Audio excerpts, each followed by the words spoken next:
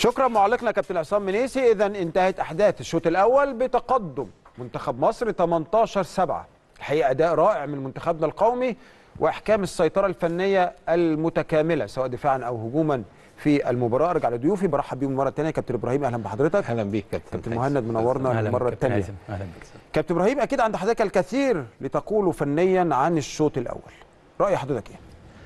بالنسبة للشوط الأول هو يعني إحنا قلنا في الشوط ال- في التعليق قبل المباراة قلنا منتخب مصر هيلجأ للهجوم الخاطف ولكن الظاهر إن غينيا خدت بالها من الكلام اللي إحنا قلناه فما ادوش فرصة للمنتخب المصري إنه يجري. إن يعمل عليهم هجوم خاطف فالمنتخب المصري لجأ للهجوم المتنوع في ال- الهجمات المنظمة سواء بالاختراقات أو لعب الدايرة أو الأجنحة من الهجوم المنظم. ونجح في إنه يحرز آه، في أول 15 دقيقة آه، 11 هدف مقابل ثلاث أهداف. يعني في أول ثلاث في أول 15 دقيقه حط 11 هدف دخل وتلت- فينا ثلاث أهداف. ودخل فينا ثلاث أهداف. نعم. في ال 15 دقيقة الثانية حصل نوع من اللي هو آه، مش ارتخاء هدوء إلى حد ما شوية. خلاص ضمان المكسب. آه ف فأحرزنا سبع أهداف هم أحرزوا أربعة. مقابل أربع أهداف. نعم. آه، ده مش آه، مش تقليل من المنتخب لا بل على العكس. المنتخب المصري ب- بدأ يدخل آه، عمل تغيير أو روتيشن بين اللاعبين ما بين البتاع ده. ممكن ده سبب من أسباب إن هم حصلت فيه أخطاء في التمرير في في الطرد. آخر دقيقتين اتطرد لنا اتنين لعيبة. المنتخب آه، غينيا استغلهم وجاب جونين قال زودت أهدافهم آه، كده. إلا إن المنتخب المصري لعب بتشكيل بأسلوب آه، دفاعي في البداية 6 6 6 0 متقدمة يعني. زي ما حضرتك توقعت وزي ما. كابتن مهند توقع بي- 6 بيطلع- 0 بيطلعوا متقدمين عشان يقفلوا على لعيبنا لأن هم ما عرفوش يشوطوا بقى. كل تصويباتنا الخارجية بره مستوى الحارس أو في إيدين الحارس. آه كريم آه كريم هنداوي ما شاء الله توقعه جيد جدا للتصويبات آه نفس الشيء محمد محمد علي لما نزل كان برضه كويس قوي ف يمكن سند كان هداف الشوط الأول برصيد خمس أهداف سند هداف ال... ال... وده ده, ده طبيعي على سند يعني. يعني شفناه حتى منهم هدف من الأهداف من على الدايرة. الله اكبر عليه آه، جري جريتين قطع قطعتين على 6 متر خد كورة جاب جونين نعم. ضربتين جزاء زائد داخله من ال wing يبقى جاب خمس الخمس أهداف اللي جم سند تاني هداف سيسا ثلاث أهداف. عندنا الجناحين النهارده حاطين 8 أهداف من اصل 18 هدف. عندنا يحيى الدرع ويحيى خالد. كل التنوع- منهما هدفين. التنوع بقى التن... هو ده اللي أنا مقصود التنوع إن مفيش اعتماد على لعيب من عينه. بالظبط. هو اللي, اللي بيحرز الأهداف. كل لعيبة المنتخب سواء يحيى خالد يحيى نعم. الدرع آه، خيري أو آه، أو علي يمكن علي زين ما شاطش كتير بس لعب كرات مؤثرة كان أسيست لكذا لعيب ووصل كذا كوره للعيبة.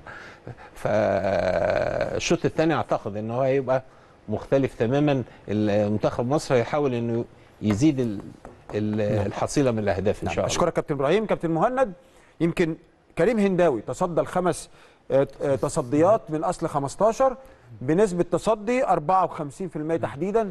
فالنهاردة برضو حراسة المرمى كان ليها دور كبير إن منتخب مصر يطلع بهذا الشكل. آه، حراسة المرمى على مستوى العالم آه، هي تعتبر نص الفرقة. لو الجون موفق آه،. الماتش بيبقى لو فرقة جامدة بيبقى الماتش قريب. نعم. فحراسة المرمى نسبتها بتبقى الأعلى. فده بي- بيسبب نجاح ان انت تعرف تعمل هجوم خاطف بتعرف آه، آه، ان انت تشتغل على آه، التصويب الخارجي اللي هو خلاص بقى يعرف في الجون حافظ اللعيبة طبعا فبيلعب على ال- الفيديوهات اللي اتفرج عليها ال- اللعيبة. النهارده التصويب من الخط الخلفي ما كانش كتير اللعيبة كانت بتلعب على الدايرة مع اللاعب رقم سبعة. نعم. آه، حتى في التكتيك بتاعهم إن هو اللاعب ال back right آه، بيباص وينزل على الدايرة عشان خاطر هو لعبهم كله عايزين يلعبوا على الستة متر. نعم. كابتن طيب رأي حضرتك فنيا النهارده في مشهدين الحقيقة يعني لفتوا انتباهي. سند بيحط من على الدايرة. النهارده ده هدف من الأهداف. إبراهيم المصري النهارده في كرة من الكرات ال fast break أحرز هدف برغم إن إبراهيم المصري. أحد المدافعين. ده. ده, ده يدل على إيه؟ يعني دي, لفتت انتباهي ده يدل حضرتك على إيه؟ آه، طبعا ده تكتيك هم متمرنين عليه. آه، إضافة لحضرتك سيسا برضو نفس نعم، خد. كورة برضو جري من على الدايرة. فهم تكتيك بيشتغلوا بيه إن ال- الفرقة بتاعه غينيا بتلعب 6-0 بس 6-0 متقدمة برضو. نعم. ال- الدايرة بيبقى موجود بين 2 و3 الرقم 3 الثاني ورقم 2 في الناحية العكسية بيطلع على ال back وال half نعم. فدي بتدي مساحة إن الوينجات تجري تحت. الناس ال- العالية دي اللي هو. رقم اثنين ورقم ثلاثة في مساحات خلف بيجوا من ورا خلف البتاع. فكرة السنة أو أو, أو تكتيك جميل جدا. تمام. بصراحة. وبرده نفس الكلام أحمد عادل استلم كورتين ممدوح هاشم من خلف المدافعين. بالظبط صحيح. طب آه، كابتن شايف النهارده يعني من ضمن الع- عناصر اللعبة التحكيم بس هو ما اتحطش التحكيم النهارده في اختبار حقيقي لأن المباراة مش ماشية equal بس بشكل عام شايف التحكيم إيه؟ شايف هل التحكيم موفق؟ ولا شايف غلطات تحكيمية بسيطة ممكن لا أنا شايف. التحكيم لحد دلوقتي مش كويس. المباراة أصلا هادية آه، مصر ماشية ب rhythm هي اللي بتعلي ال rhythm وبتقلل ال rhythm واخدة الماتش واحدة واحدة.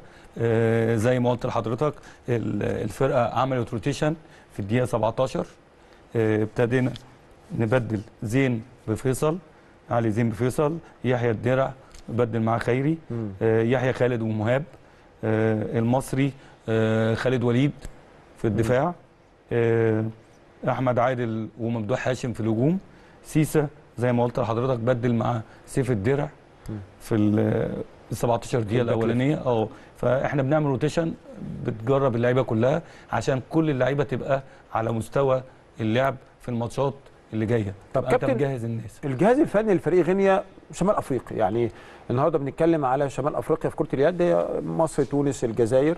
بس الحقيقة ما حسيتش النهارده قوي إن بصمه هو بيتهيألي جهاز فني تونسي يعني. مم. ولكن النهارده إحنا ما حسيناش قوي إن بصمات آه، يعني هل مثلا الجهاز الفني متولي المهمة قريب ولا نوعية اللاعب الأفريقي أو افريقيا السمراء مش مناسبة لكرة اليد.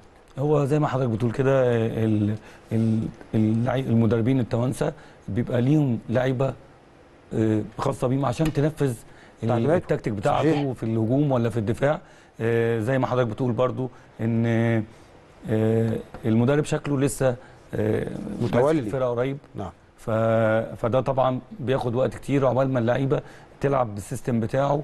وتخش في أجواء المباريات المدير الفني يوسف بالخاري تونسي ده هو المدير الفني آه، لفريق آه، آه، غينيا أو منتخب غينيا. طب كابتن إبراهيم أجي لحضرتك يعني النهارده الشوط الأول خلص 18 7 مش ال score الكبير قوي زي مثلا مباراه مباراة أو المباريات اتلعبت النهارده زي مثلا نقول آه، مباراة مثلا آه، انتهت فرق كبير تونس, تونس- وكينيا. تونس وكينيا. 59 18 توقعاتك للشوط الثاني؟ هل ممكن مستر خوان كارلوس باستير المدير الفني الأسباني النهارده زي ما قلت لحضرتك مهم يدي رساله.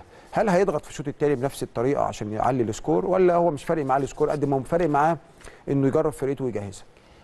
ال- السكور بالنسبة له مهم. فأعتقد إن هو هينزل الشوط الثاني حاطين في اعتبار الفرقة ال- اللي ما عملوش في الشوط الأول هيعملوه. يعني أعتقد الهجوم هيزيد الهجوم الخاطف أو السنترة السريعة أو قطع الكور. آه، الكورة ودي هتبقى ليها أساس في يعني هتبقى آه، أساس لعبي هيبقى الشوط الثاني بالمنظر ده عشان أزود. الحصيلة بتاعت الأهداف. يعني 11 هدف في الشوط الأول لو مشينا بالمعدل ده هيبقى الفرق 22 هدف. آه فرق كبير ولكن مش زي الفرقه الثانية اللي بتنافسنا. لا مش آه. زيها. هي أنا يعني أنا لا بقول إن لو آه، ال- آه، الهجوم الخاطف اشتغل هيبقى الفرق أكتر من كده بكتير. صحيح هجوم الخطف الحقيقة اللي أكتر من. كده طيب بكتير. بعد أول مباراة النهارده إحنا اتفضل يا كابتن فرقة كينيا فرقة غينيا كمان آه، يعني تقريبا يعني حت مش مش هتسيب الماتش. آه. هي بتلعب دلوقتي عشوائي. يعني لعب عشوائي. يعني اللعيب بياخد كرة ويروح شايط أي كرة من بره. شطنا كور كتيرة شاطت بره الملعب. لعب فردي لإحكام الدفاع بتاعنا. نعم. ولو كرة جت في البتاع ده آه، آه، كريم هنداوي ومن بعديه محمد علي آه، عندهم توقعات كويسة قوي فب- فبتبقى الكرة في متناوله. أغلب الكرات اللي هم جايبينها الأجوان اللي هم جابوها من سبع تجوان جايبين أربع تجوان من على الدايرة أو خمس تجوان من لاعب الدايرة من كور مرتدة أو كور وقع ورا المدافعين بتوعنا. نعم. فما عندهمش تصويب خارجي كويس ما عندهمش لعب من بره فبالتالي هيبقى فرصة مصر إنها تزود الأهداف بتاعتها كبيرة إن شاء الله. نعم. طب كابتن مهند أنا حاسس النهارده لمنتخب مصر برضو لعيبتنا بتلعب يعني إيه آه، بحرص. آه، النهارده أنا ممكن يبقى عندي خسارة كبيرة لو خسرت لعيب في مركز خاصة إن أنا داخل على المباراة القوية. سريعا رأي حضرتك إيه؟ هل صح إن أنا أكسب ولا ألعب بكل قوتي؟ أكسب بأقل power ولا أكسب بكل ال power بتاعي؟ سريعا عشان إحنا لحظات آه لا طبعا أنا أكسب بأقل الخسائر عشان لسه في مباراة قادمة. آه منتخب مصر آه بيلعب على قد الماتش آه محافظ على اللعيبة بتاعته آه عشان خاطر حضرتك عارف ال- الأجسام آه. الأفارقة بتبقى عاملة إزاي. فأنا أحافظ على اللعيبة. آه المكسب أنا شايف فرق آه 11 آه والشوط الثاني إن شاء الله نزود يبقى 11 زيه 22 آه، طلعت بمكسب كويس آه، ابقى جاهز للماتش اللي بعده بدون إصابات. كابتن سريعا مستر خوان كارلوس باستير يمكن ده أول مشاهدة ليه عن قرب إحنا شايفين يمكن الشاشة جايباه إحنا عارف إن هو بنتكلم عليه.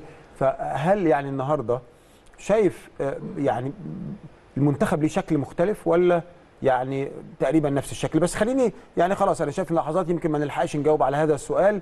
يعني كباتن استاذن حضرتك كابتن إبراهيم كابتن مهند. خلاص. لحظات وتنطلق أحداث الشوط الثاني. نروح لمعلقنا كابتن عصام منيسي عشان ننقل لحضراتكم أحداث الشوط الثاني. مصر وغينيا في المباراة الافتتاحية لبطولة أفريقيا في نسختها السادسة والعشرين. زميلي العزيز عصام منيسي إليك الميكروفون.